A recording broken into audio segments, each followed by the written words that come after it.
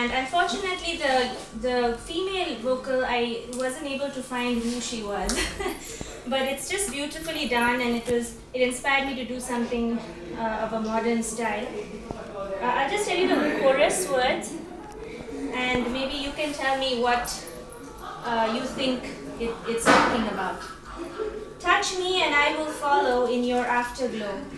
Heal me from all this sorrow as I let you go. I will find my way when I see your eyes, when I'm living in your afterglow. What do you think? What do you think this chorus means? These words mean? Can you just repeat? Touch me, and I will follow in your afterglow. Heal me, ছুঁয়ে দাও touch me মতলব ছুঁয়ে দাও I will follow in your afterglow. তোমার আলোর পেছনে আমি ছুটে যাই Heal me, আমাকে তুমি আহ, heal, heal me from all this sorrow আমার সমস্ত দুঃখ থেকে তুমি আমার মুক্ত করে দাও as I let you go.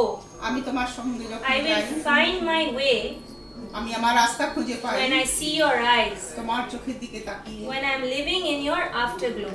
তুমি যখন আ- তোমার এই আলোর পেছনে আমি যখন যাই Right. তখন So what রাস্তা does what খুঁজে does pi. this tell you? What does it remind? What what do you think of when you hear these words? Think of God.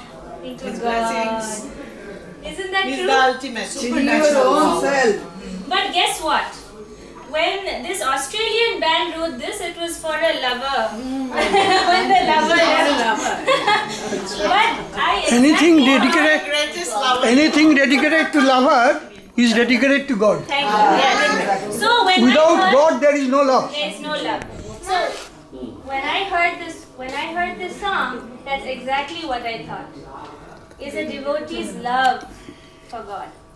So I kept that in mind, and I have um, composed this dance.